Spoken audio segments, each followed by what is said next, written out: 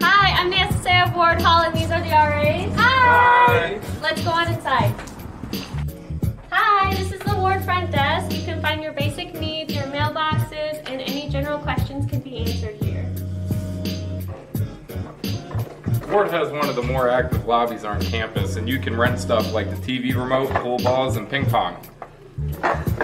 Hello, this is a basic single room in Ward.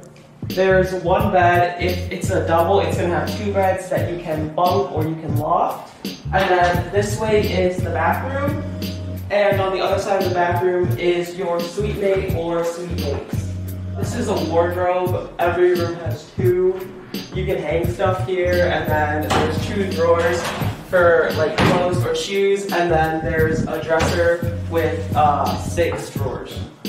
Alright, so Ward Hall has only four floors, and there's no elevator to any of them, so don't ask. Each of these uh, stairways, you can fit 13 foot long boards for a loft, so you can build a loft. And then floor will have its own theme that the RE chooses, and it'll have posters and everything themed out to make it all fun. Each floor has their own laundry machines right here. Uh, only the second and fourth floor uh, have stoves that you can use to cook like mac and cheese and other items. And it does have an oven too for cookies and cakes.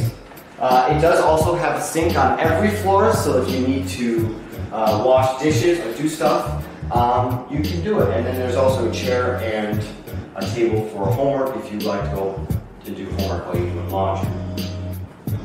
Hi, so currently I'm outside of Ward Hall, and we are by the Rock and the Market.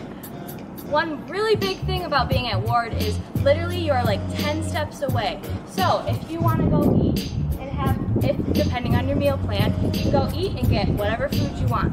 Also from the market, you can also get a few meal swipes because a lot of people like to just go back to their room. One big thing when you come to Ferris is you'll get a student ID, and in order to get into your building, you have to swipe in. These are only open until 11 p.m., and then you have to go through the front doors in order to get in the building. Bye!